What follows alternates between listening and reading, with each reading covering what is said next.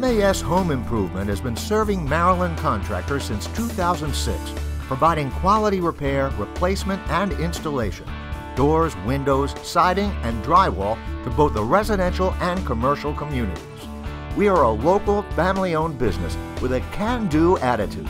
Our work is 100% guaranteed, and we proudly sustain professional relationships with all previous clients. Call us today or visit our website for more information.